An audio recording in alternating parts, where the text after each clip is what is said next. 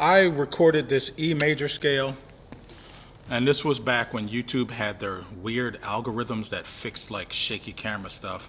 And when I recorded it, it wasn't really that shaky anyway, but the video just looks weird, so this is just a repost of the E major scale. I'm gonna basically do the same thing that I did before, which is play the scale, tell you what notes I'm playing, and then like play the rest of it up.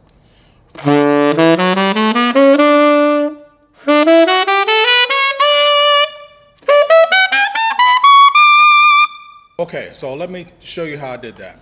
So basically, you just play your E major scale.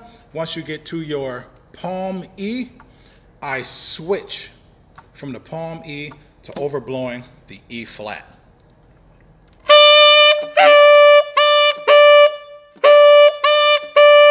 And then from there, then I play the split F. I keep the E flat key down. So split F is one, three, and four. So I'll go from overblowing the E flat to split F, holding the E flat key in order to play F sharp. For G sharp, I do one, two, three, and the side C. For A, I use a vented G sharp. That's just like G sharp with the first finger up. For B, I add the E flat key.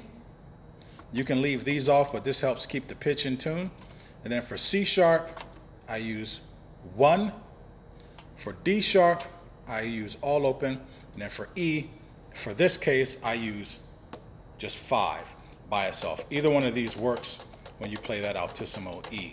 But I use five because it sets me up very nicely to go to the note that's above it. So here's your E major scale, four octaves. Concert D. So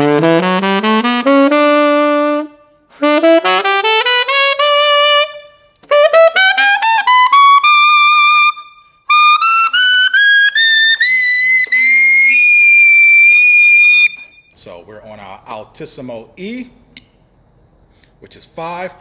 Then I add the shadow key. I call this the shadow key because it translates very easily into other languages. But that is the side E along with minus one, which is the E flat key. So you got five, side E, E flat key in order to play altissimo F sharp.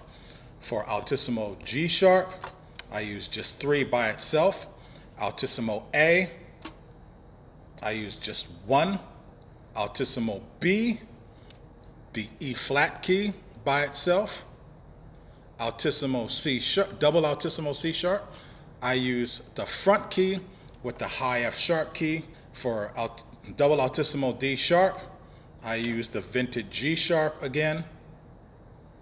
And then for double altissimo E, I just finger A.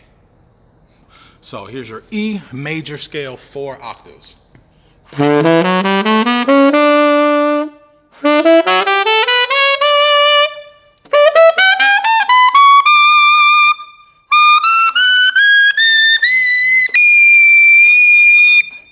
All right, so that's the scale. Thanks for tuning in.